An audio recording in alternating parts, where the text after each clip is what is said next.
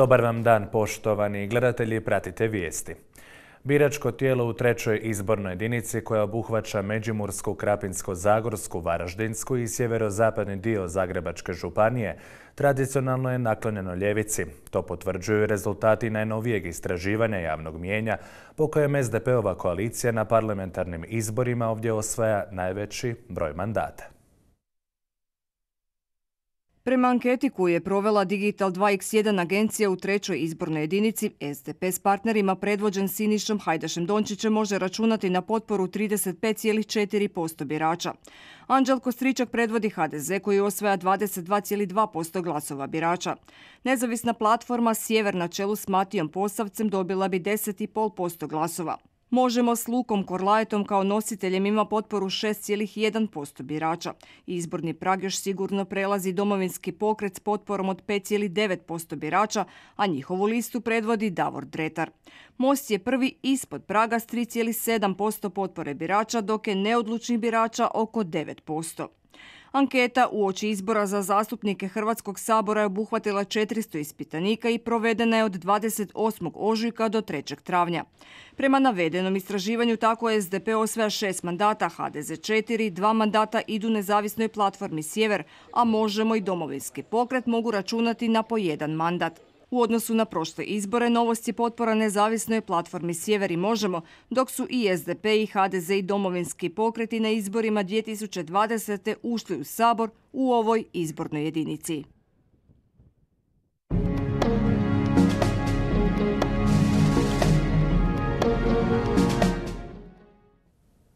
Domovinski pokret predstavio je svoju listu u četvrtoj izbornoj jedinici. Nositelj liste je zamjenik predsjednika stranke Mario Radić, a listu čine ekonomisti, profesori i dragovoljci Domovinskog rata, kao i tri gradonačelnika i tri bivša saborska zastupnika. Kampanja će u ovoj izbornoj jedinici biti bazirana na rijeku Dravu, kao simbol povezanosti u prometno najlošije povezanom dijelu Hrvatske, istaknuo je Radić. Pobjednička lista, kako je nazvao zamjenik predsjednika domovinskog pokreta Mario Radić, ujedno i nositelj lista u četvrtoj izbornoj jedinici, istaknuto je donosi ljude koji će izgurati promjene u Hrvatskoj i učiniti dostojnom življenja.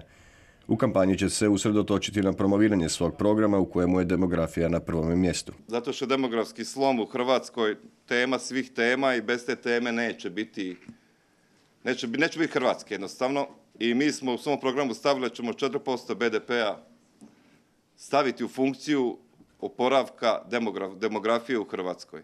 To će biti kroz stanogradnju, kroz poticaje e, rodiljama, majkama, vrtiće, škole. Tijekom cijele kampanje aktivnosti će biti na rijeci Dravi, istaknuo Radić i dodao kako ona povezuje prometno najlošije povezanu izbornu jedinicu na listi je i bivši gradonačelnik Đurđevca i saborski zastupnik Željko Lacković, predsjednik stranke Nezavisni. Ono što mi želimo zapravo kroz ovu našu suradnju promovirati je zapravo ova e, priča rijeke Drave koja kreće od, e, iz naše županije iz Ludbrega i završava ovdje u Osječko-baranskoj županiji.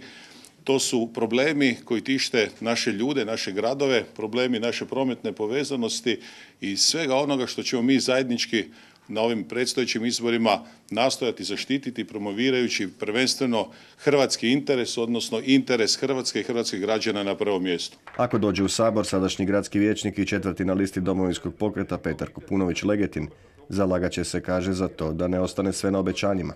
Zato su potrebni, dodaje, kvalitetni ljudi. Svi ljudi na ovim listama u svojem životu i privatnom i poslovnom konkretno su već nešto napravili. Takvi ljudi, konkretni, poslovni, učinkoviti, efikasni su nam potrebni za Sabor i to ne samo oni koji će se u Saboru naslikavati, nego svakodnevno biti s ljudima. Druga na listi domovinskog pokreta je Jesenka Ricel, gradska vijećnica i dugogodišnja djelatnica u kulturi, a treći profesor engleskog jezika, književnosti i povijesti i dragovoljac domovinskog rata, a danas vijećnik u Županijskoj skupštini Krešimir Čabaj. Pozivamo sve građane Osječko-baranjske, Virovitičko-podravske i Koprivničko-križevačke županije, dakle onih županija od kojih se sastoji naša četvrta izborna jedinica, da daju priliku domovinskom pokretu da pokažemo da znamo i možemo i da izvedemo Hrvatsku iz ovog liba u kojem se nalazi već dugi niz godina. Na listi domovinskog pokreta i koalicijskih partnera su i gradonačelnik Slatine, dragovoljac domovinskog rata i umirovljeni časnik HV-a Ilija Nikolić, kao i poduzetnik i bivši saborski zastupnik domovinskog pokreta Daniel Spajić. Obojica dobro poznaju prilike u Slavoniji. Problemi su od prometne povezanosti do poljoprivrednog zemljišta. Znači, evo tu smo se skupili, nas 14 i ja vjerujem da ćemo polučiti dobar rezultat i da ćemo ispraviti sve te nepravde koje su se godinama e, gomilale što kod vlasti SDP-a, što kod vlasti HDZ-a. Dok ne budemo svjesni da su nas sve vlasti u zadnjih 20 i nešto godina doveli tu gdje jesmo, mi dok toga ne budemo svjesni jednostavno nećemo ići naprijed. Mi se moramo, ja znam da je to gorko s tim suočiti, ali jednostavno moramo zbog svoje djece jedan dan možemo zdravo krenuti naprijed. Jer Slavonija vam je uništena, opljačkana, ubijena, doslovci ubijena. I mi ćemo dati sve o sebe da mi to promijenimo.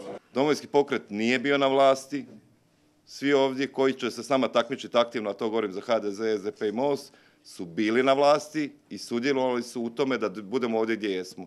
Mi tražimo samo priliku da mi pokažemo što znamo i možemo. Izborom domovinskog pokreta građani će dobiti nacionalnu opciju u kojoj će Hrvatska biti na prvom mjestu, a interes i sigurnost hrvatskog čovjeka na zadatak, poručili su i stranke.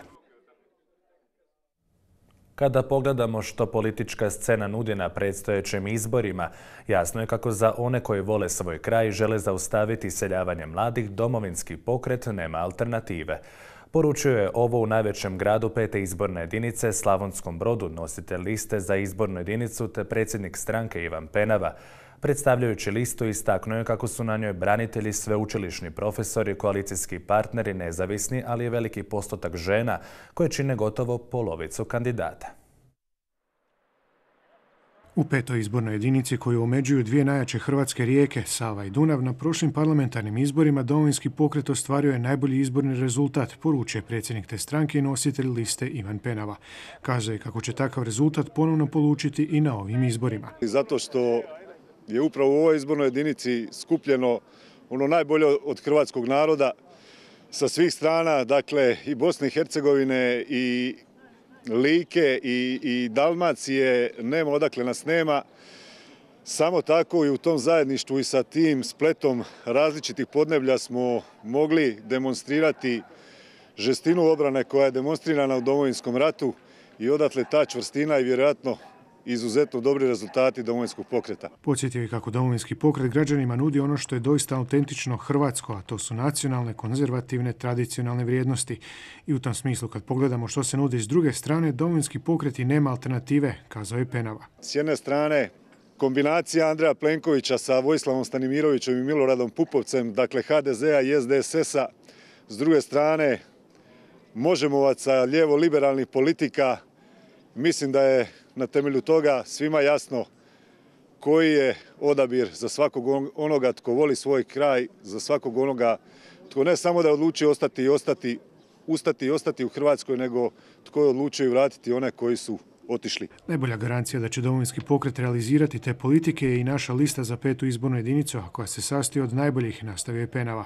Uz njega kao nositelja liste na njoj su među ostalima i glavni tajnik stranke Josip Dabro, Dubravka Lipovac Pehar iz Slavonskog broda, Ivana Mujkić iz Vukovara, sveučilišna profesorica Branka Lozo, Goran Ribičić koji predstavlja Požegu, profesor iz Vukovara Josip Krpan, te Ivana Pavlić također iz Broda. Tu su i Draženko Kljajić, Goran Kajkić kao neovisni na listi, hrvatski branitelj iz Cerne Milenko Bilić, Nikolina Galović iz Ivankova, mladi znanstvenik Slavko Grgić iz Otoka, te koalicijski partner iz stranke Pravo i Pravda Damir Trnačić. Kao što ste mogli čuti i vidjeti, evo ima nas, hvala Bogu, i okruženi smo i sa našim kolegicama, dakle pripadnicima, pripadnicama ljepšeg spola, jednako tako koalicijski partneri. Širinu pokazujemo i sa gospodinom Goranom Kajkićem kao neovisnim, jer to je ono što domovinski pokret je. Stranka koja je prije svega i u svom nazivu ima i domovinski i riječ pokret koja znači prije svega uključivost za različite ljude, za različita promišljanja,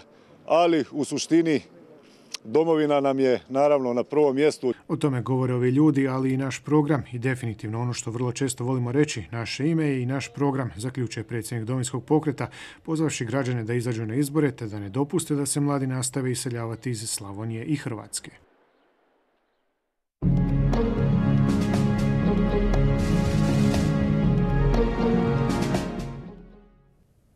Bliži se početak nove sezone komaraca. Iz Osječke gradske uprave i Nastavnog zavoda za javno zdravstvo Osječko-Baranske županije poručuju kako su spremni za novu bitku. Danas je predstavljen plan i program za ovu godinu.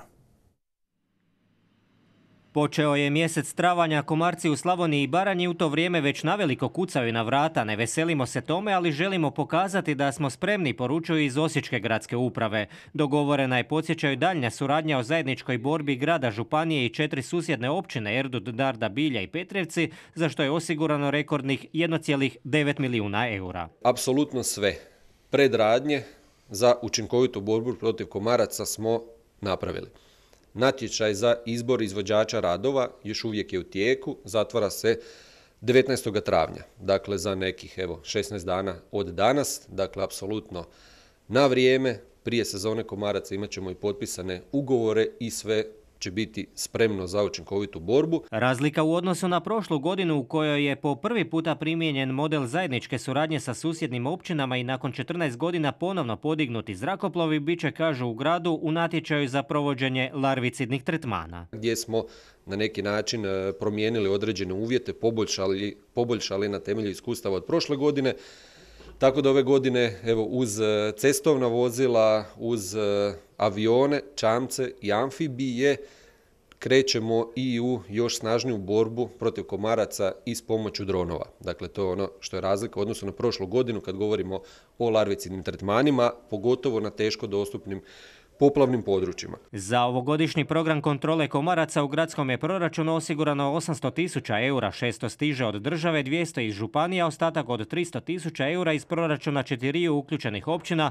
koje su digle iznose za ovu godinu. Vidjeli smo da je puno veći, bolji učinak e, kad smo išli zajedno, nekad smo radili prije prijašnjih godina samostalno i evo već u pripremi proračuna za 2024. godinu smo svi u naš plan program stavili isto zajedničku ovu akciju, stavili smo i povećali sredstva u proračunu i vjerujem da ćemo i ovoj godini na temelju evo, potpisanog sporazuma još bolje i kvalitetnije E, raditi da bude komaraca što manje i da naši građani mogu što ljepše i kvalitetnije živjeti. Iz nastavnog zavoda kažu kako su s ovogodišnjim monitoringom krenuli u veljači te da do sada još nije došlo do aktivacije legala komaraca. Naravno da mi i konstantno i svakodnevno pratimo vodostaj rijeke Drave i Dunav i možete vidjeti da u ovom sljedećem razdoblju ne, nemamo tendenciju e, da vodostaja, povišenja vodistaja, što znači da kroz nekakva sljedeća dva tjedna sigurno nećemo imati nikakve najezde poplavnih komaraca. Ono što možemo očekivati upravo zbog ovih povišenih temperatura da se aktiviraju legla unutar kanalske mreže i naravno kada budemo uočili to mi ćemo odmah izdati preporuke za provedbu. Ponovno je upućeni apel građanima da svojim ponašanjem pomognu u prevenciji uz poruku i moto Izlimo vodu, danas ne bodu. Prošle su 32 godine od operacije Baranja, koja će dugo ostati zapamćena u hrvatskoj povijesti. Premda je akcija na početku bila uspješna, nakon nekog vremena je zaustavljena, a u njoj je poginulo 15 pripadnika 107. brigade HVA. U spomene njihovu žrtvu u sklopu obilježavanja ovog važnog datuma održana je jubilarna deseta memorialna utrka Život za život. Trčalo se danas od Valpova do Belišća, a trkači su zato imali dobar povod pokazati da uspomene na one koji su položili živote braneći svoj dom žive i dalje. Ovo je 32. obljetnica akcije u Baranji, tako da je lijepo što se i mladi naraštaje uključuju u takve akcije koje su koji su važan dio naše prošlosti. Tako da nije bitno da se to ne zaboravi i da se to stalno održava i da bude puno natjecatelja kao i danas. Među sudionicima je bio i Damir kojemu 3,8 km duga ruta nije predstavljala nikakav problem jer sportom se bavi od malena i na ovakve događaje uvijek se, kako kaže, rado odazove. Ja sam bi imao 14 godina kad je bila ova akcija i brat i sestra su bi bili pripadnici 107. i 106. brigade. Ja nisam mogao, ali evo, a trčim zbog toga da damo im počast jer oni su ipak za nas ovaj, ostavili ono veliki trag i oslobodili Hrvatsku i Baranju i da mi možemo mirno živjeti u slobodnoj državi Hrvatskoj. 3. travnja 1992. Vukovi zdrave imali su iznimno težak zadatak forsiranjem rijeke odbaciti neprijatelja prema Srbiji. Iako je sve krenulo dobro, akcija je zaustavljena, a ugašeno je i 15 života. Premda sa sobom nosi bolne uspomene, oni koji su joj svjedočili prisjećaju je se s ponosom. Među njima je i moj bratić Branko Špoljarić, također isto iz moje postrobe izviđači iz 107. brigade, Kruno Bračevac, tada nije imao ni punih 20 godina. Cijela akcija je bila čudo u to vrijeme, ni sami nismo vjerovali koliko smo bili ovaj, puni želje, ponosa i, i akcija je po meni bila izvrsna, mi smo i dio toga oslobodili, međutim vjerojatno više sile, politika i sve ali uglavnom ponos i čast. Uz tinejdžere, pripadnike HVA i policajce, utrci su se pridružili i oni najmlađi, učenici Belišanske osnovne škole Ivana Kukuljevića, koji su svoj doprinos dali otrčivši nešto kraću dionicu. Istrčio sam 700 nešto metara, jako, jako brzo. Jedva sam, prestigao sam na samom cilju jednu curicu isto iz četvrtog razreda. I isto nisam imao više daha, ali sam onda na kraju još prestigao. Jubilarna je ovo deseta utrka Život za život, čiji je idejni začetnik osječki ultramaratonac. Ja sam inače isto sudionik domovinskog rata, umirovljeni sam časnik Hrvatske vojske, trčim memorialne trke po cijeloj Hrvatskoj, imao sam želju da istrčimo nešto ovdje za ovaj kraj gdje sam rođen. Utrka ima naziv Život za život, za ove mlade koji su dali život, sad mlade trče za njih u spomen na ta nemila događanja. Interesa uvijek ima, a veliki broj natjecatelja, ponajprije djece i mladih, uz organizatore razveselio i predstavnike grada Valpova i Belišća. Ono što grad Valpovo radi e, kontinuirano, a to je da u suradnji sa udrugama proizašlih iz domovinskog rata, upravo to i čini, prenosi istinu domovinskom ratu e, na mlađe generacije, našim osnovnoškolcima, srednjoškolcima. Zato smo i njih uključili u obilježavanje e, ove, ovih obljetnica upravo ova utrka e, život za život biti ovaj, je jedan pokazatelj da, e, da samo s energijom možemo sačuvati domovinski rat i sve ono što je proizašlo iz njega, to je naša sloboda. Evo održana je i utrka život za život od centra Valpova do centra Belišća i na taj način želimo im odati počast da ovi mladi, ova mladost znaju što se dogodilo početkom 90-ih i da sve ono danas što uživamo nije palo s neba, nego da je evo stečeno, nažalost, krvlju. Svi sudionici dobili su zahvalnice, a oni najbolji kući su se vratili s medaljama. Trčalo se danas i u Osijeku. Nakon tri tjedna obnove ponovno je za sve rekreativce, sportaše i učenike otvoreno srednjoškolsko igralište. Obnovljena je atletska staza, uređeno košarkaško i odbojkaško igralište te nogometni kavez. Posljednja velika obnova popularne srednjike bila je još 2013. godine. Lopta u pokretu ponovno na Osječkom srednjoškolskom igralištu koje je otvoreno nakon završenih radova obnove. Novim slojem presvučena je atletska staza, uređeno je košarkaško i odbojkaško igralište, ali i popularni nogometni kavez. Vrijednost radova 88 tisuća eura. Ako tome pridodamo da smo prošle godine napravili u suradnji sa Hrvatskim nogometnim savezom upravo ovdje na srednjoškolskom igralištu prvi javni besplatni teren sa umjetnom travom u vrijednosti 55 tisuća eura, te smo među vremenu riješili i elektroinstalacije i stolariju u zgradi na srednjoškolskom igralištu. Dolazimo do ulaganja u protekle dvije godine od 185 tisuća eura na srednjoškolskom igralištu. Najveće i najčešće korišteno javno igralište u gradu Osijeku, što mi je izuzetno drago da, da smo tolika sredstva uložili. I da imamo svakodnevno velik broj posjetitelja rekreativaca, što djece, što što starijih. Od posljednje temeljitije obnove proteklo je više od 10 godina, no neki sadržaj poput unutarnjeg bazena u kojemu su naučile plivati generacije Osjećana i dalje nisu u funkciji. Od svih ovih sadržaja koji ste rekli, bazen jedino nažalost nije u funkciji, to je nekakva e, nasljeđena stvar iz prošlosti. E, trenutno u ovoj fazi je rješavana o, su ovi vanjski tereni.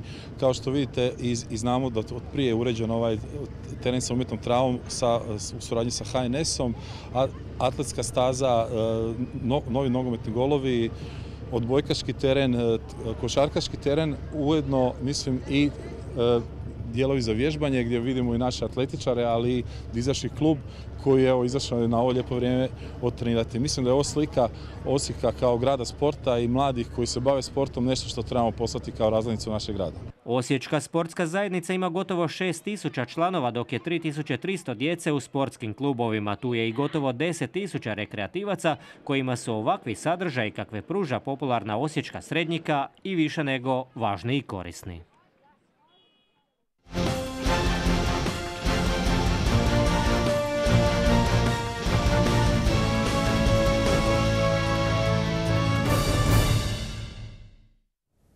Za rukometaša Neksea završila je europska priča za ovu sezonu. Unatoč boljoj igri nego prije tjedan dana, u uzvratnom susretu play-offa osmine finala EHF Europske lige poražene su od njemačkog Rhein Neckar Levena. Iako su Gromovi dobro otvorili utakmicu, nedostatak koncentracije uzeo danak te prvo polu vrijeme završava 16-16. U nastavku susreta nakon 11 minuta Neks ima dva gola prednosti, no ponovno rade nekoliko tehničkih grešaka i vraćaju Leven u život, koji najprije poravnava rezultat, zatim preuzima vodstvo. Ugledni Bundesligaš na kraju je slavio rezultatom 31-29. Mislim da smo mogli bolje odigrati, mislim da smo mogli bolje odigrati napad, e, tu i tamo čak i obranu, ali na kraju sve svemu dobro je, izgubili smo od protivnika koji je trenutno možda bolji od nas u ovom trenutku. Ali ništa, idemo dalje, idemo u sljedeću utakmicu. Nažalost, ispali smo iz e, Europske lige, ali ostanemo sad u Hrvatskom prvenstvu i tu moramo napraviti dobar posao. Mislim da smo ostavili srce na terenu. Definitivno da je utakmica završena, ne završena, nego prosto izgubljena u našicama. Ovdje smo pokazali da ipak imamo šanse, imali smo nekoliko golova prednosti. Mislim da je Fortuna bila na njihove strane do kraja prvog poluvremena, mogla biti plus 3-4 za nas ali eto, to je rukomet, treba izvući pouke, što je najbitnije, nek, s, moje, s moje tačke gledišta mislim da smo odigrali jako dobru utakmicu, pokazali smo karakter ekipe. Ovom pobjedom njemački lavovi su si osigurali prolaz u četvrt finale, te tako nastavljaju svoju europsku priču.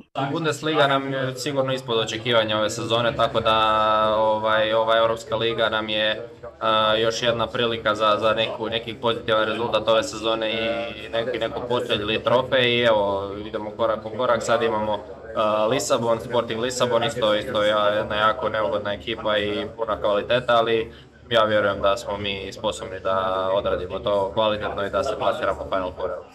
Za Gromove nema previše odmora jer slijedi najveći hrvatski rukometni derbi. U nedjelju u Našice stiže rukometni klub Zagreb. Kao što nažalost znamo, preminula je Vera Svoboda Njikoš, jedna od najznačajnijih hrvatskih pjevačica zabavnih, narodnih i starogradskih pjesama. Komemoracija će se održati sutra u 11 sati u fojeru Hrvatskog narodnog kazališta u Osijeku. Četvrtak je u Muzeju likovnih umjetnosti rezerviran za stručno vodstvo kroz postav izložbe Izbor iz fundusa Štrosmerove galerije starih majstora Hazu s početkom u 19 sati. U isto vrijeme u kinu Urenje bit će odigran kazališni hit Ljubavna pisma, koji već 50 godina ne silazi sa svjetskih pozornica. U hvaljenoj hrvatskoj postavi glavne uloge tumače Slavica Knežević i Marko Torjanac. A nastavnu ulogu u prognozi vremena ima Kristijan Božarov, zahvaljujući kojem ćemo i večeras doznati što nas očekuje narednih dana.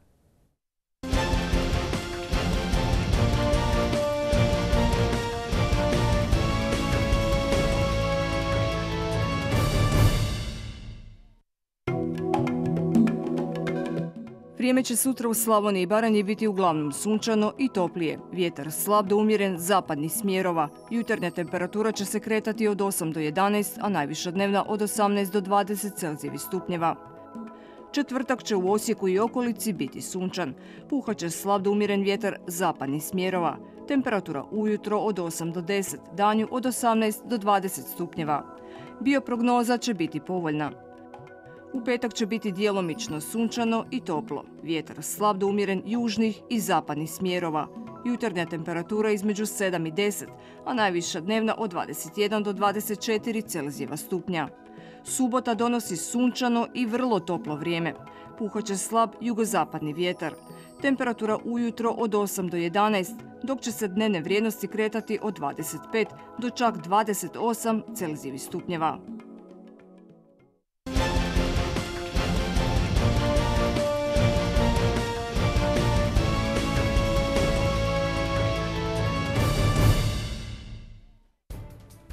Bilo je to sve u vijestima, s vama smo ponovno sutra u 18 sati i 30 minuta. Želimo vam ugodan ostatak večeri. Doviđenja.